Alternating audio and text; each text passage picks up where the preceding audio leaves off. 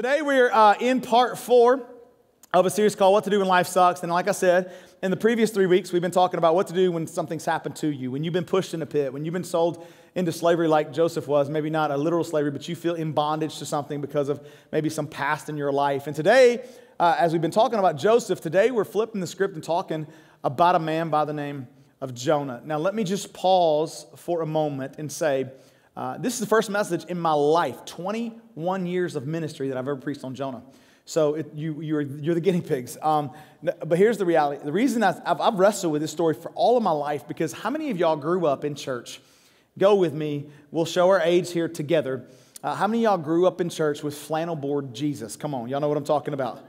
Yes, the rest of you are like, what? Okay, let me kind of explain this to you because I realize we have some young people in the house. Literally, we were, uh, we were getting ready for our, um, our creative team and, and worship production. All the people were getting ready for service, and we have our team meeting, huddle, make sure everything's good. And there's a kid back there. I love this kid to death, 16 years old, uh, one of my buddies, one of my kids' buddies. And uh, uh he, I, somebody said, it's dangerous because he's got his license now. And I said, uh, I said, bro, how many wrecks you had in the last two weeks since you got your license? And he was like, um, he was thinking, and he said, I backed my car into the telephone pole, my truck into the telephone pole the first day I got my, my truck. And uh, everybody's laughing. And here's what he said He said, But I didn't have a backup camera. And I thought to myself, Oh. so then I realized what we're really dealing with here um, is that if you don't have, if you if you're complaining that you don't have a backup camera, you have no idea who Flannelboard Jesus is. So let me explain. Flannelboard Jesus was there was a thing called Sunday school back in the day. Come on. Thank God that went away. And uh, and uh, so they would give you uh, cookies and Kool Aid and amp you up for the service in hopes to stay awake for the preacher who was boring. And uh, in Sunday school, they would do lessons on a quarterly, and then they would do flannel board Jesus. What is flannel board? There would be like this, whatever this little thing is that holds this flannel graph thing, and they have all these characters from the Bible that would be Jesus, and, and, and then it would be Peter and John and James, and I get them all confused. I didn't know that I didn't know that the, the, the, Apostle John and John the Baptist were two different people. Come on, it's like weird. It's like, what, what are we doing with all this stuff going on? I don't even know how to figure out this whole. And like, Peter was Peter this week, but next week I was like, I'm pretty sure that was John last week. and so they would tell the stories and move the characters to tell you the story of Jesus. And I was like, this is the most confusing thing in the world. Praise God for technology. That's what all I'm saying. But in that, there was a story that they always told. There were two stories that I struggle with the most. One was Noah and the ark, hard to understand. The other is Jonah and the whale, which is terrible theology because it's Jonah and a large fish. Y'all like, what? Somebody lied to me? Yeah, your Sunday school teacher lied to you. And so we don't know what kind of fish. It was a large sea creature of some sort. And to be honest with you, the reason this one was hard to me is because it seemed like it should be on a comic strip. It seemed like it should be a cartoon. And it seems so unreasonable. But so does the creation of the world. And so as I rest, I've wrestled with the story of Jonah because it just is like, mm, I don't know, like three days in the belly of a fish. That's just weird. And so I've wrestled with it. And so I want to kind of circle back and maybe uh, pull down some walls of people who would say, you know what, I'm with you. Uh, it's kind of hard one to believe, especially when it was on a flannel graph and there's this big fish blowing through the thing. It was a whale and it was all jacked. I'm like, I don't even know. Come on. Is this like symbolism or is this real? Can I just tell you, though, that Jesus puts the story of Jonah on the same shelf of truth as the resurrection? And Paul, the apostle, who's a follower of Jesus after Jesus' life, death, burial, and resurrection, he has a conversion. He's writing to the whole New Testament. He actually says to you and to me, is that if Jesus didn't rise from the dead, we're wasting our time. We should be not out in this cold. We should be snuggled up in our pajamas today, doing whatever we want to do, not giving our life to something. If Jesus did not rise from the dead, our faith is futile. We have no hope. There is no living hope if he didn't rise from the dead. And here's the thing that I want to encourage you with today no one, despite countless attempts, has ever been able to disprove the resurrection of Jesus from the dead. In fact, the evidence is overwhelming that he died under a man by the name of Pontius Pilate.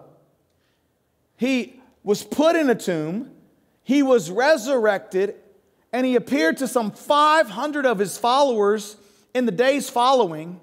Many of them would give their life because they saw him alive. People died because they said, Whoa, I'm following that man because he showed me the nail scars. He is alive. And so when somebody asks me or they ask you, How do you know? How do you know there was really an ark? How do you really know Jonah and the whale happened? Here's my response. I don't I don't know. But I know that Jesus believed it and Jesus was raised from the dead, so I'm with him. And so, once someone disproves the resurrection, which is not going to happen, the overwhelming evidence of a resurrection that Jesus was put in a tomb and he was resurrected from the dead. Once somebody disproves that, then I'll stop believing it. But until then, that's where my faith lies. That's where my hope lies. And so we fast forward to Jesus' words in Matthew chapter number 12. Before we look at the story of Jonah, look at Matthew chapter number 12, and I want you to see what Jesus says about Jonah and this, this big fish. He says this in verse 38. Then some of the Pharisees, which were the religious people of the day who knew the Old Testament law, who knew the Old Testament teachings, who knew the Ten Commandments, said to Jesus, Teacher, we want to see a sign from you. Pause. I got a lot of side notes today, so you need to take a column of notes and then a column of side notes, all right? Because it's two totally different messages in the, in the same message.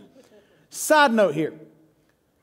Too many of our generation are asking God for a sign. And what Jesus is about to tell us is, I already gave you a sign. It's the resurrection. And he goes on to say, in verse 39, he answered, A wicked and adulterous generation asked for a sign. But none will be given except the sign of the prophet Jonah. Now, let me pause for a second here because we ask, I've heard pastors say, I asked God for a sign, and he told me, Well, shame on you for asking God for a sign, Pastor. I'm not saying you don't ask God to confirm something in your spirit. I don't, I'm not saying you don't ask God to give you peace about a decision, but God has given us everything we need already for life and godliness. We don't need signs to keep us alive. See, a wicked and adulterous generation asks for a sign, and he says, But none will be given except the sign of the prophet Jonah. What is the sign of the prophet Jonah?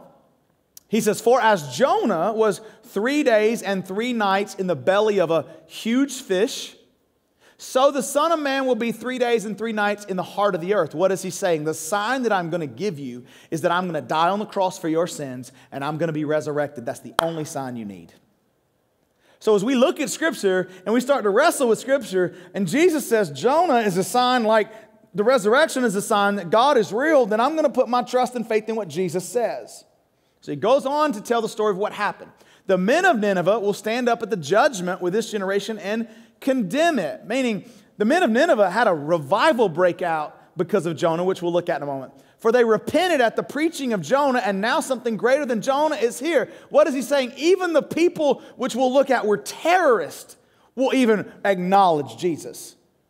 The queen of the south will rise up at the judgment with this generation, verse 42, and condemn it, for she came from the ends of the earth to listen to Solomon's teaching, and now something far greater than Solomon is here. What is Jesus saying? The resurrection, everything hinges on the resurrection. And the people in the story of Jonah, the people in the, the Ninevites that we're going to look at here in just a few moments, will see a, a, a, miracle of God turn to God, and he's saying they will even buy into this resurrection because they've seen the goodness of God at work in their chaos. Now, let's unpack the story. Jesus said it, Jesus rose from the dead. Nobody's proven he hasn't. In fact, the overwhelming evidence proves that he does. So let's go with Jesus' words. Now, maybe some of our walls have come down and we can believe this story a little bit and we can unpack it. So, the previous three weeks, we have learned that Joseph was trying to do his best. He was 17 years old, he gets a vision from God. He's trying to do his best, but despite his best efforts, he's thrown into a pit, sold into slavery, some 20 years in this messy middle period before he sees the will of God and the plans of God come to fruition for his life. It is a pit that he did not make himself. But Jonah is different. Jonah, in Jonah chapter 2, verse 6, says this But you, Lord my God, brought my life up from the pit. He says, You brought my life up from the pit. Now, this is a prayer that Jonah is praying because he realizes he needs God after his disobedience. This is a pit that is of his own making. Jonah put himself in a predicament. No one pushed him into it, he jumped into it. No one forced him into it, he chose to go there. But here's the story and the message of Jonah for us today. Even in a pit you've dug for yourself, God is still there. And so today we're talking about Pit Happens Part 2 with a message really entitled, ready for this?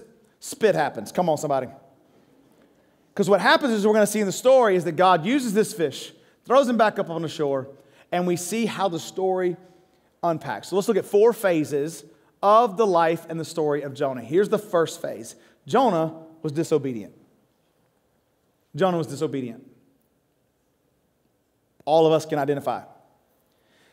God comes to Jonah and speaks to Jonah. He's a prophet. He's there to preach the, the gospel or the good news. Jesus hasn't lived and died yet, so this is prior to Jesus, but to, to preach a message, to turn to God. But he's called to the Ninevites. The Ninevites are uh, the center, the capital of the Assyrian Empire at the time. To equate the Ninevites to what we may know of today, for those of you who were alive at 9 11, if you weren't, you can look back and hear and see and read. The terrorists flew uh, planes into the towers, and everybody in America, for a few moments at least, had this panic set in against a group of people going, How could they hurt us in such a way? Some hated, some rebelled. Christians fought through their emotions and tried to say, We have to love in spite of that. But the Ninevites were the terrorists of their day. And God says to Jonah, I want you to go and preach to them. But Jonah has felt the pain and the devastation from the horrific things that the Ninevites have done to the people. And now God is calling him to go to people whom he hated. He actually says, God, they should be judged. Why would you dare give them an opportunity to repent? Here's how the Ninevites did things. So, in, our, in American culture, if we go to war and a, a, a, a soldier does something that's of uh, you know, honor, they'll get a medal. Not the Ninevites. The Ninevites actually cut off the lips and the ears and wore them as badges of the people they killed. They would stack up skulls outside of their homes and their living quarters to show, look, a, a weird flex, come on, to show how powerful they are. And now Jonah, God says, go to Nineveh. Well, I'm thinking, not only do I hate them at that point, but I don't want to die. And he says, go to Nineveh and preach to them. And his, his response is, God, you need to judge them. And that is true. God, God is a just God and God does judge, but God also loves them enough to send Jonah. Here's another side note for the other column here God never acts in one of his attributes to the exclusion of another. You say, what do you, okay, that's, that, okay. God is just, but God is also loving. Can he be just and loving at the same time? Absolutely. Can God say, if this, then this, and cast his judgment onto something, but still love you through the process? We see through the story of Jonah that God can love someone, even in spite of their disobedience, even in spite of they need to be judged, and in spite of the fact that they will be judged if things don't change, but he can still love them through the process. And the cross is a great example of this, isn't it? Jesus lives a sinless life. God loves humanity enough to put the wrath of our sin on Jesus back, nail it to a cross, turn his back on Jesus, his own son, because of the wrath, and he does it all because he loves you and me. And so we see that God can act in multi, it's, it's, we, can't do that, can we? We have a very difficult time understanding. Well, God, they need to be judged, but they also need to be loved. And so God comes to Jonah and says, I want you to go 500 miles east into Nineveh. Let's just pause. 500 miles, y'all. I don't like to fly on a plane 500 miles. I don't like to ride in a car 500 miles. Jonah's got to go 500 at least miles, maybe further, on terrain, on camelback, on foot, on what? Five. So the journey there is painful enough. Then he's got to preach to people that he hates and hates him. And so instead of going to Nineveh, Jonah says, bump that, turns and goes the other way to Joppa, where we know Tel Aviv is today. And he, his hopes is to get away from preaching to them. And now he gets on a boat heading in the opposite direction towards Spain, because he heard there's some good beaches there. And what he's doing, hear me, is he's running from the presence of God. Now, He hates the Ninevites so much that he's willing to run away from the presence of God. Side note number 12 God loves people you hate. In fact, in the heart of the believer, there shouldn't be hate. It doesn't mean we have disagreements. It doesn't mean we don't we have emotions we have to deal with, but we are called to love our enemies. That's not always easy. You say I'm supposed to love the pedophile?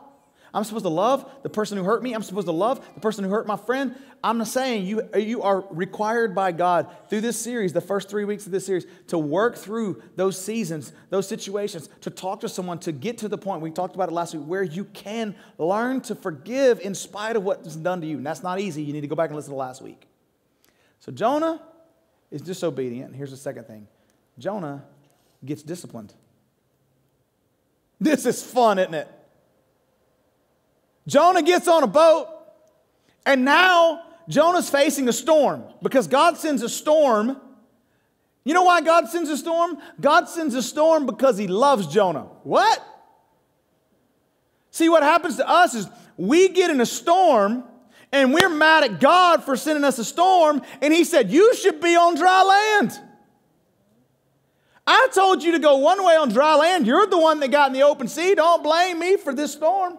How could God allow this to happen to me? Sometimes, sometimes, not all the time, when you're 25 and you continue to make the same stupid decision over and over and over, or you're in your college years, come on, somebody, sometimes you find yourself in a storm because you're on a boat you should have never been on. And God is so good that He will send a storm your way when you are heading somewhere you shouldn't be. the problem is, sometimes in the middle of the storm, sometimes in the middle of the pit,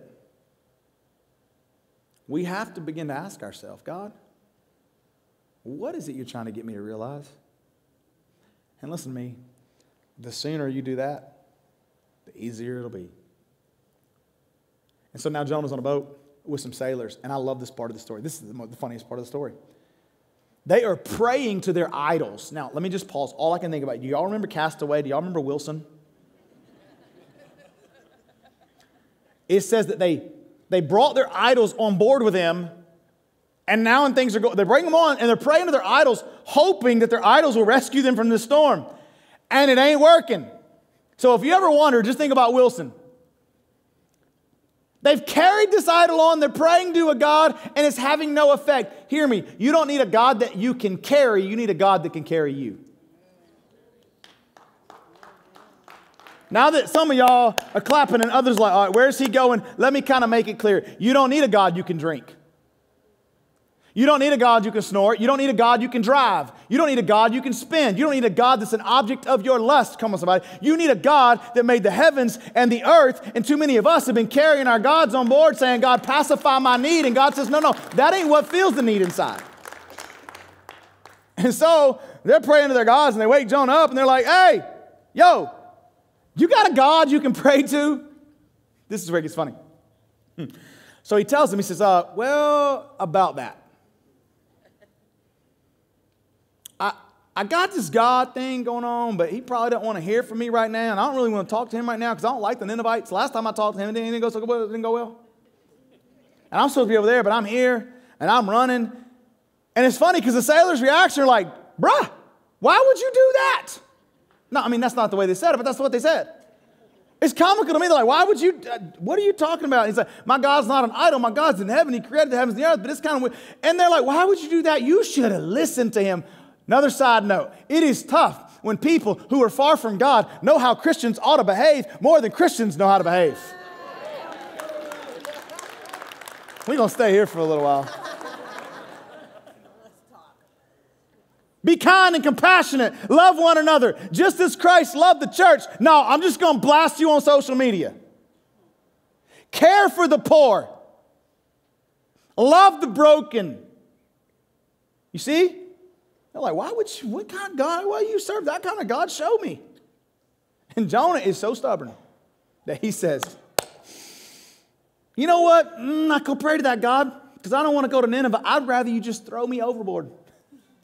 And they did. this is great.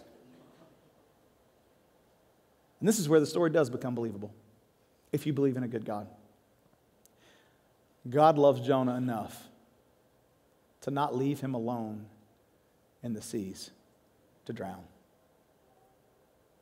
So he prepares, the Bible says, a large sea creature to swallow him up and spend three days in the pit of this, the belly of this large fish. See, a good parent loves their child by disciplining them, not out of anger, but out of a calm place, wanting what's best for them. So I have a 10 year old. He's the emotional one. Like he can't stand to do anything wrong, it breaks his heart.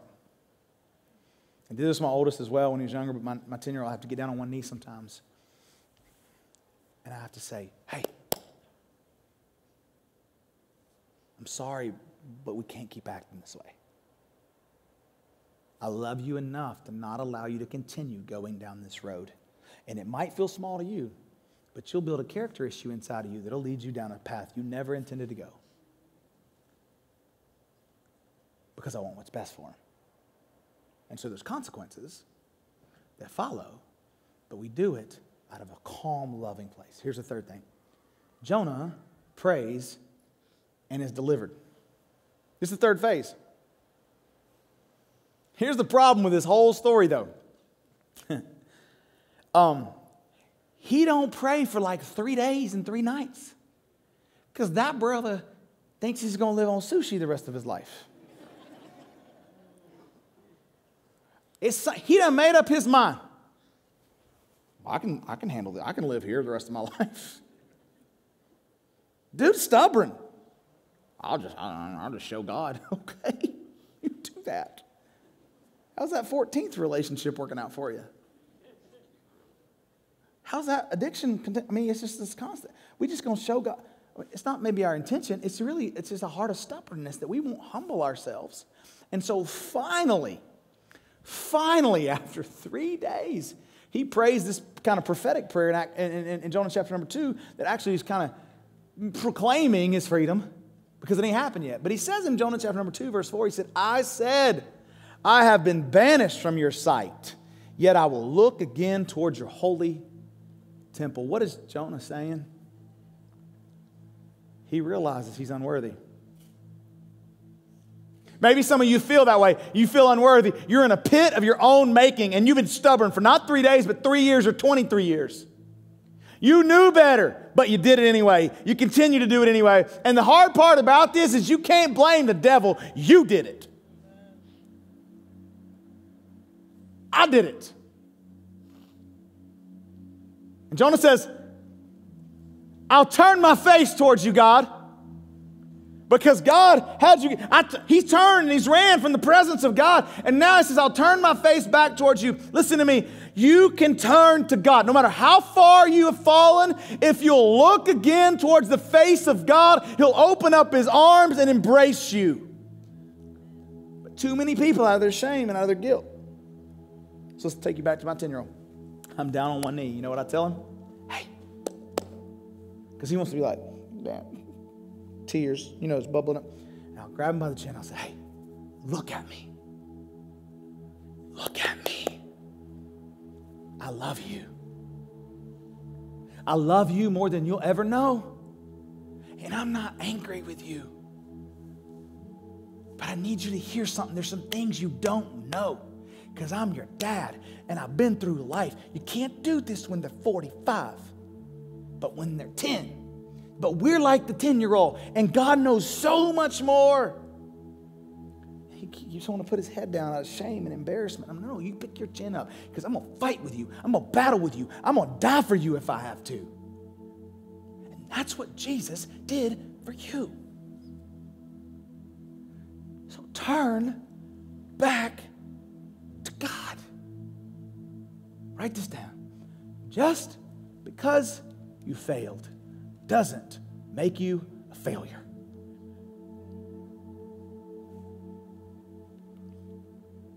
I love how the story picks up. Um, Jonah prays this prophetic prayer God, God I believe it. I'm, I'm, going to turn back to you. You're going to you're going to rescue me from this pit. Verse 6. And then in verse 10, it says, And the Lord commanded the fish, and it vomited Jonah out a dry land. That's disgusting. That's where spit happens. But I love what happens in chapter 3. God just picks up the conversation with Jonah like none of that ever happened. There ain't no lecture. He's just like, all right, Jonah. The word of the Lord came to Jonah, chapter 3, verse 1 and 2. And it says, the word of the Lord came to Jonah a second time. Dad, sometimes your kid don't need a 90, 90 minute lecture. Sometimes he's, okay, you turn back. We got it. We're moving on. And then he just says, Go to the great city of Nineveh and proclaim to it the message I give you. God treats it and treats him as if it's the first time they ever had the conversation. And Jonah's like, golly, man, I got to go cleaned up first. But I need you to hear something. It ain't like Jonah was spit up on the shores of Nineveh. No, no, no, no. He still got to, he got to figure out where he's at. He can't go to his iPhone, put in the coordinates and figure out, I mean, it don't show his location on the map. You see where Jonah now's got to travel back? I mean, Sometimes fulfilling God's plan and purposes for your life, it's the delays we've caused. And so he comes to him like it's the first time he's ever had the conversation. This is what I love about Jesus. The Bible says, if any man is in Christ, he is a new creation. You see, God responds to you differently you're his son, you're his daughter. So now Jonah obeys and he goes to Nineveh. He still ain't got the best attitude, but he preaches. And people's lives are changed. And a nation responds in revival to a message that Jonah didn't even want to preach. Can I just say something to you that I think will give you some freedom, or maybe not? The Bible wastes very little energy on how we feel whether we feel like worshiping, whether we feel like giving, whether we feel like obeying, whether we feel like forgiving. We don't, we don't see God going, okay, well, let's talk about it. No, we see Jesus feeling everything we've ever felt, but doing the right thing anyway being abandoned and beaten and abused. And in the Garden of Gethsemane, you want to see pain and agony and anxiety. He knows what he's about to go through. He's been rejected and hurt by his own people, the people that he came to save. And now he's about to go to a cross and he brings his disciples. He asks them to pray and he goes into the garden and he prays. And the Bible says this that he had so I'm going to tell you what happened because there's a medical term here called hematohidrosis that falls into this. But what happens is Jesus goes into this garden and he is full of anxiety full of stress because he is hurting. And he prays this prayer God, Father in heaven, if it's possible, let this cup pass from me. What does that mean? The Bible's very clear. If you look back at Moses and the Ten Commandments and how he made the people at the bottom of the mountain who lived on their feelings drink their punishment he melted the idols down and put them in a drink, made them drink their punishment. That's painful. Jesus says, if it's possible, let this cup of punishment pass from me. What is he saying? All the sins of the world, Jesus is about to drink the punishment of. And he says, That's what I feel. Let it pass from me. But not my will, but your will be. You want to know how I know Jesus had anxiety and feelings that were overwhelming? Is because what happened is, if you look at the medical condition Jesus had, he's praying, he's praying, he's praying, and it says sweat like drops of blood poured from his face. You know what happened is his capillaries got so large from the stress and the anxiety that they were huge. They couldn't even, and then all of a sudden, when that anxiety released, blood begins to pour through your, your pores, and sweat like drops of blood fell from his forehead because in the middle of all of that, when he knew he was going to do the will of the Father, no matter how much pain it caused, it brought a peace that surpasses all understanding in the face of death itself. That's where the sweat like drops of blood came from. And then we say, Well, I don't feel like it. you see how superficial sometimes our faith is? Here's the fourth one Jonah is later used by Jesus as an illustration.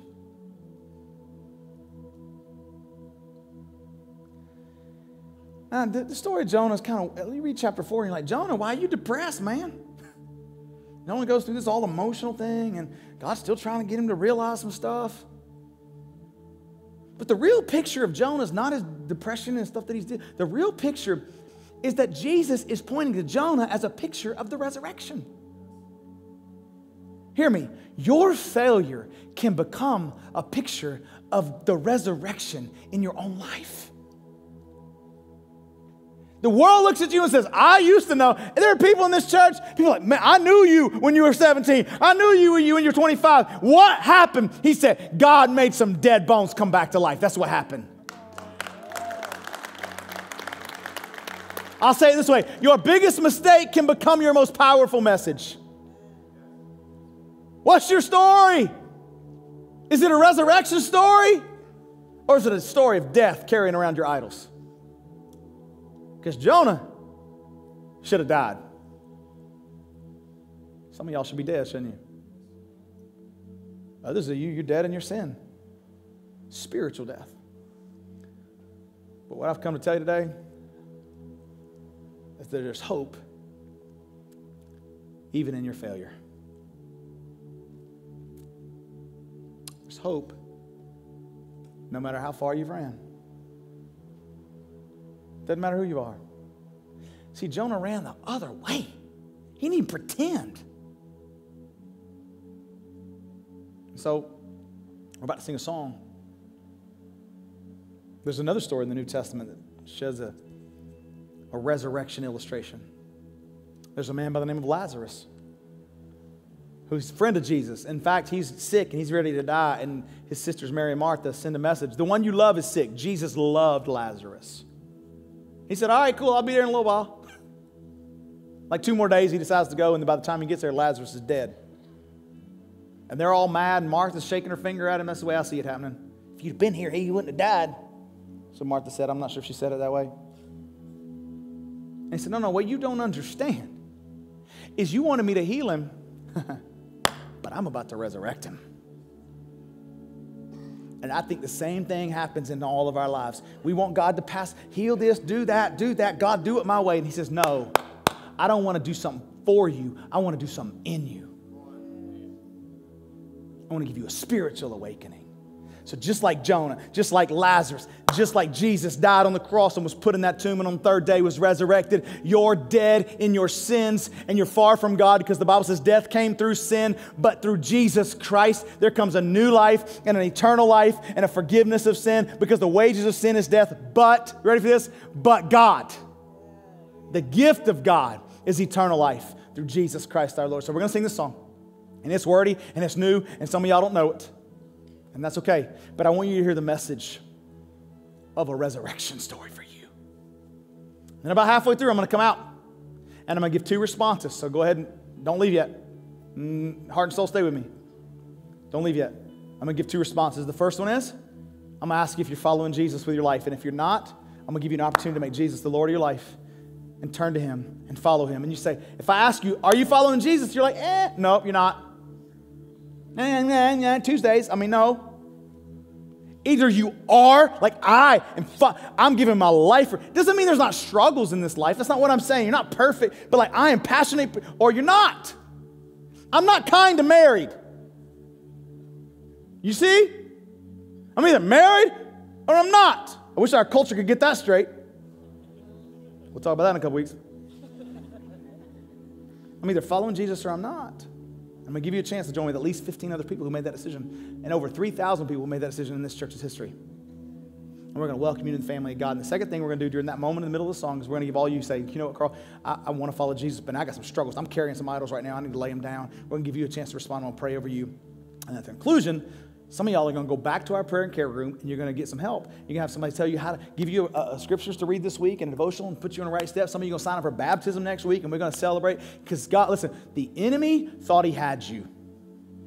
But Jesus said, uh uh-uh, uh I got another plan. I make dead things alive. So I'm asking you to stand to your feet. Come on, put your hands together for the goodness of God. Now, I want you to I'm pray over you right now. I know, isn't it funny? People can't clap and stand at the same time. People are like, all right. So let's focus for the next eight minutes. and let's go after God with our whole heart. Father, I pray right now, speak, let your Holy Spirit do its work through the words of these songs and the, word, the lyrics of this song, and I pray transformation will begin to happen in Jesus' name. Amen. Here we go. I've already told you what this response time is going to be. In a moment, we're going to declare our freedom. But some of you, you're not, you're not following Jesus. You came in here searching. Maybe you've been coming for a while. Maybe you just kind of you ran from God. And God's trying to get your attention. You're either serving Him or you're not. In a moment, I'm going to give you a chance to recenter your life around the things of God and take a step and say, God, today I want you to forgive me my sins, be Lord of my life. I want to follow you from this day forward. And then right after I do that, I'm going to give you a chance to respond for those of you who say, God, I just, man, I'm starting to carry some other idols. I, I, got my idols or something I'm drinking, something I'm smoking, something I'm doing, some lust problems, some things. I'm trying to serve Jesus, but I got some things I'm carrying. And I want to get, I want you to have freedom today from those things. And then when we're done, some of you are going to go to the prayer and care room and you're going to ask, hey, what, what do I need to read this week? How do I need to pray this week? Need to talk to somebody. And listen, if you make a decision to follow Jesus in a moment, I'm going to ask you to tell somebody this with you and have them go with you because listen, we want you to be a part of the family of God and we want you to be in heaven with us one day. That's what it's all about. And so I'm asking you to close your eyes right now. When I say three, you're not following Jesus. You want to put your trust and your faith in Jesus' life, death, burial, and resurrection, a sinless life that took your sins upon his back, put him on a cross, put in a tomb, and was resurrected so that you can now have new life. He paid the punishment you should have paid. When nobody looking around, when I say three, come on, hands are already going up. One, two, three, all across this room. I see them. Yeah, man. All different ages, all different stages. Come on, yeah, if you're gonna do it, do it right. Let them know. Put them up. Come on, hold them up for me. A dozen hands at least. If you lifted your hand, just say these words to God. The Bible says, if you believe in your heart that Jesus died on the cross and you confess with your mouth that God raised him from the dead, you shall be saved, made new in Jesus' name. Would you whisper these words to God? Dear God, I come to you right now. And I thank you for sending Jesus to live a sinless life and to die on a cross for my sins and to be resurrected. I pray you would resurrect my dead life. Forgive me of my sins. Help me to live for you from this day forward, to turn from my past and do my best to honor you. Today I call you my Savior and I call you my Lord. Thank you for saving me.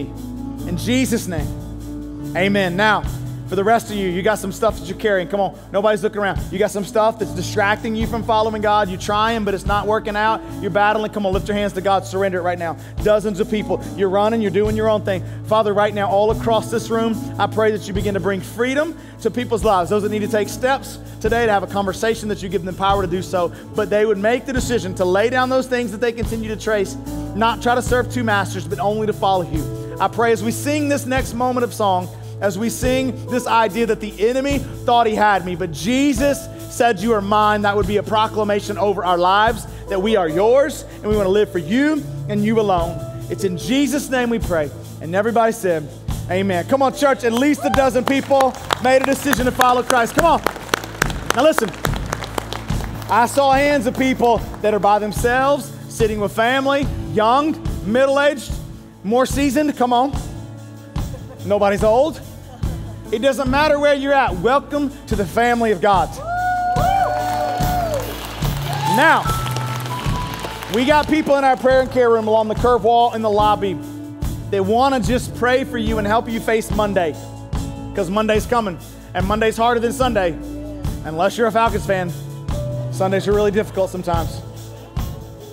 We just want to walk on this journey with you. Don't walk out of here without stopping by there. We have a, just a Bible reading plan to help you get started on something simple, and we just want to pray with you and talk with you, okay? A couple of things I'll come back and share right after we sing this, but I want you to proclaim these lines over your life that you live in victory because you are you are not you're not the enemies.